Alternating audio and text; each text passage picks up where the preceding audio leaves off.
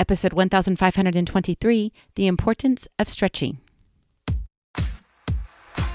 It's time to train for life and love your journey. In this episode of Create Your Now, Your Best Selfie, you'll learn new ways to rediscover, rejuvenate, and renew your mind, body, and spirit. Please welcome your host, certified life coach, personal trainer, and nutritionist, Christiane Wargo. Happy, happy day. How are you doing this week? I've missed you, and I cannot believe it's already in the middle of the week. It's Wellness Wednesday. Have you ever wondered that after you get up and you stretch a little bit and raise your arms in the air, why you feel so good? We're talking about it today the importance of stretching. For those of you who are brand new to Create Your Now, welcome to this incredible family. I'm so delighted of your presence.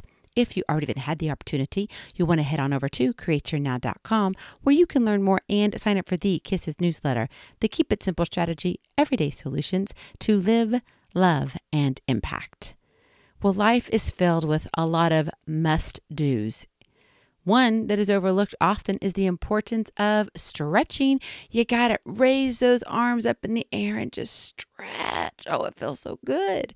So, what are you doing to keep your body flexible? As much as you think cardio and muscular strength is important, which they are, so is keeping your body flexible. Stretching increases your mobility and independence. When you get older, which guess what? You are, you're already a day older. The last thing you want to do is lose either of those mobility or independence. Who wants to rely on somebody else as they get older? I know for me, as I get older, I think about me chasing my grandchildren and my great grandchildren. I want to be able to run with them. Okay, maybe not really, really fast, but I want to be able to keep up with them and enjoy life. But if we don't take care of our body, our body can't take care of us. You don't want anything to hold you back. You've worked so hard to get to where you are in your career, with your family. Is it worth sacrificing your long term health? Of course not. Your body matters. You matter. So it's time for you to make your aging health a priority. Let's stretch it out. That is your kiss to keep it simple strategy. Stretch it out. How much of your day is sitting? I know lots of questions, but we have to ask the questions in order to figure out the answers. And unfortunately, for me especially, I sit way too much. Not because I'm lazy, because I'm so far from that. But if I'm not doing things that require me to move, like the laundry, the dishes, if I'm sitting at my computer, I'm not walking around with my laptop. At times, I do stand at my standing desk, but I'm not physically moving. Most of the time, it's in a position, whether it's seated or standing. And we're not doing much when it comes to our mobility and what happens to our body. It begins to get kind of frozen. We get achy. And when you begin to move, you're like, oh my gosh, why do I feel so sore? Well, because you've been sitting for the last hour and a half. For me personally, I know I have to be intentional about my movement. I stretch every day, even if I don't work out. Yes, you heard me right. I stretch every day, even if I don't work out. It's important to my body. So if I have an off day, I stretch, whether it's just a simple stability ball stretch or whether it's one that I'm hardcore on the floor and I do a 30 minute series of stretching exercises. Regardless, when I don't stretch, oh boy, do I feel it, especially at night. Do you ever lay there in bed and you're like, oh my gosh, my legs are so tight? Yeah, even sitting in the chair. The more we sit, think about it, our hamstrings get so tight, that's behind our leg, and we don't do anything about it. All we do is like, oh, well, surely it'll go away. Or we go to the cabinet and try to pull out a couple pills to take away what? The pain.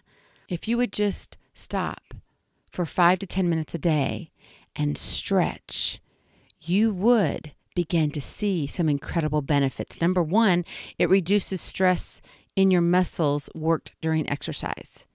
When you work out, those muscles actually shrink or they tighten. So they shorten themselves.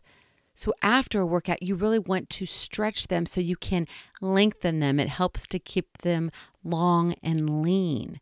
And that's really important. And you want to reduce that stress because you already what? You put your muscles under a lot of stress. You tear them down in order to what? Build them up. But in order to support them, you need to stretch them. Number two, it releases the buildup of tension during exercise. Have you ever gotten to a point where you're doing something and all of a sudden, like, oh my gosh, I feel so tight here and I wasn't like 10 minutes ago? Your muscles are responding to something within your body, and a lot of times it's that lack of flexibility. Number three, it helps to improve your posture. You want to gain a couple inches in height. I know I do. I'm not tall, I'm short, but I'm very concentrated and I love it. Thank you, Lord.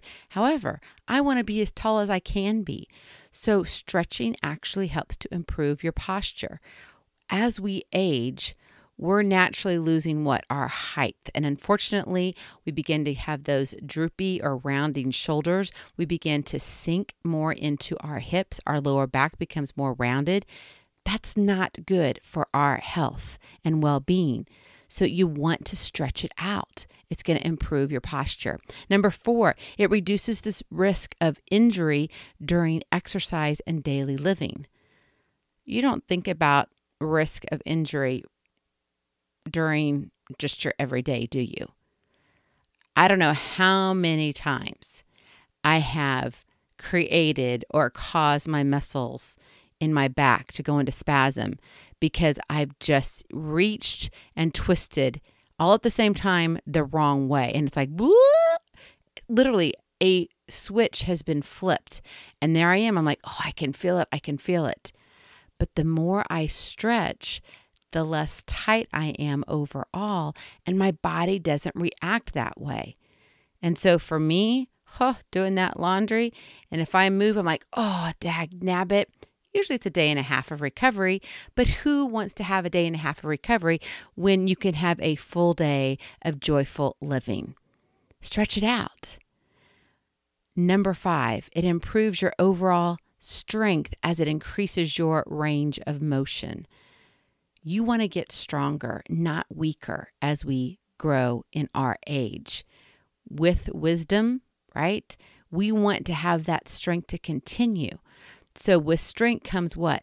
Stretching. We need that flexibility. It increases our range of motion. That helps with our functionality when it comes to our daily living. We don't think about going to the grocery store and picking up a gallon of milk. Well, if you have one, two, three, ten grandchildren, you're going to need a few gallons of milk when they come and visit you on the holidays or over spring break. Now, you may be going, okay, I don't know that I want to have the grandchildren over for that long. That's okay. When you get there, maybe you'll want them there. But the key here is that you're going to need to do daily living activities. This is functional living. And just taking a gallon of milk, you need to be able to lift that, be able to reach for it, hold it out just slightly in front of you, and not feel like, oh my gosh, I'm about to die and drop it and it's going to splatter all over the place. You've got to take care of your body, stretch it out. Think about how good you feel when you're all tight not so much, huh? No, you don't feel good, which in turn affects what your mood and your attitude. You get a little extra fussy. Who wants to be around someone who's all tight and tense? No.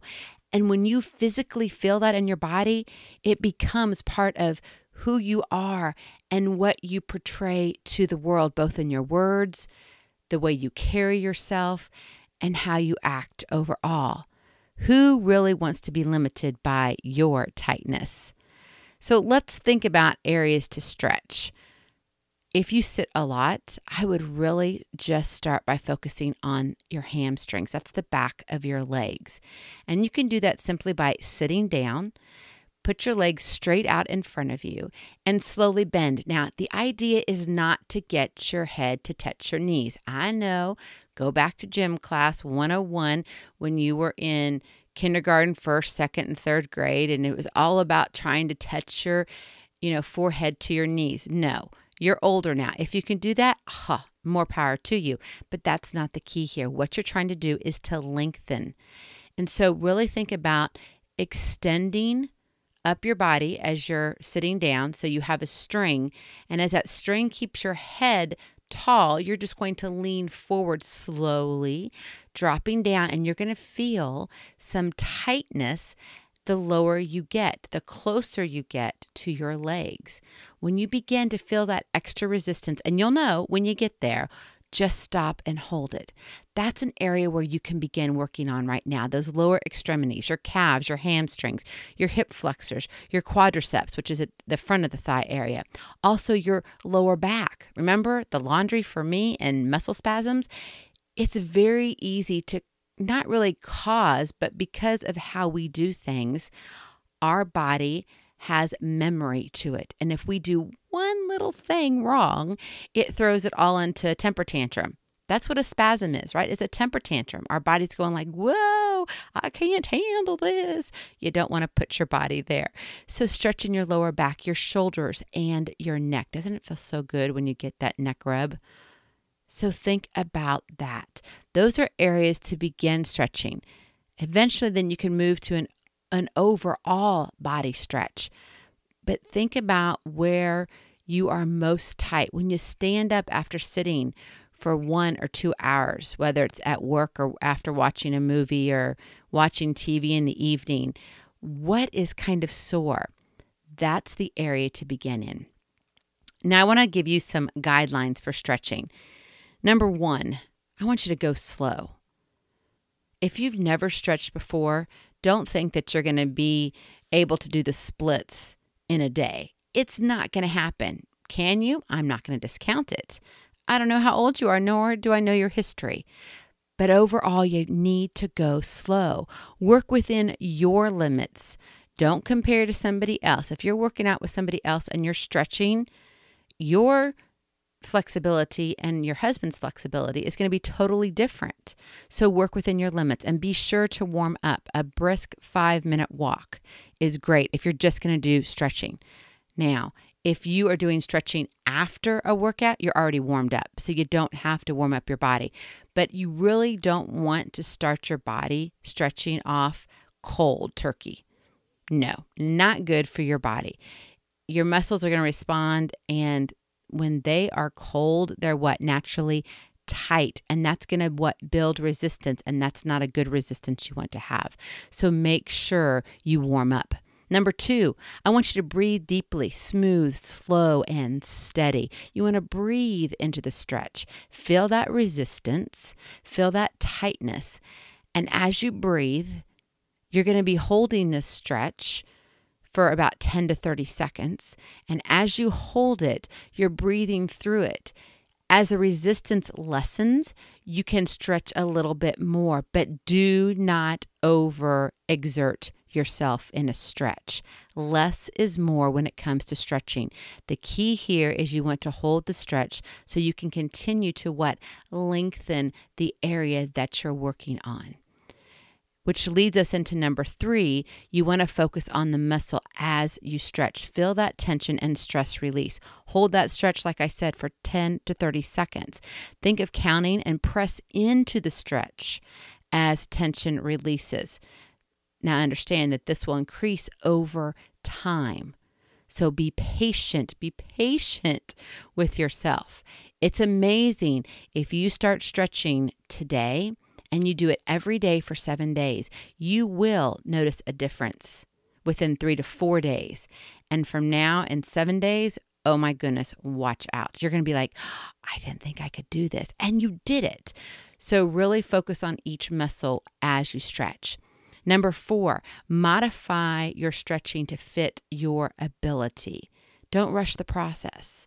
If you look up something, because I know you're very smart, if you Google something and go stretches for women of whatever age, and it comes up with some stretches, and you go to do those, you may not, depending upon what you've had in your history, of working out, your sports activity, etc., injuries that you've had, past surgeries, all of that influences your ability when it comes to flexibility and stretching. So modify it to fit you. That's the key here. Don't just say, oh, well, I'm supposed to do this, so I'm going to do it. No, it may not be right. And ultimately, if you're in question, I would encourage you to talk not only with your physician, but also with a physical therapist ask them questions and say, What can I do in this area? This area bothers me. What are some stretches?